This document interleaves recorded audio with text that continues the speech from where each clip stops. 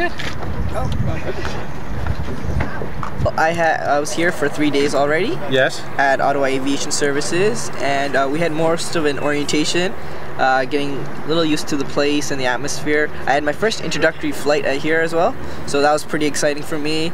Going up there, playing with the playing with the aircraft a bit and having you know having having my first time flying actually on a uh, very lightweight um, aircraft. I've never had this opportunity before, and I'm very excited to be working here. Uh, yes, I'm an aerospace engineering uh, student with my stream in aerospace structure systems and vehicle design, and uh, I'm going to be here at OAS for the four months. So from May till August, it's a huge opportunity.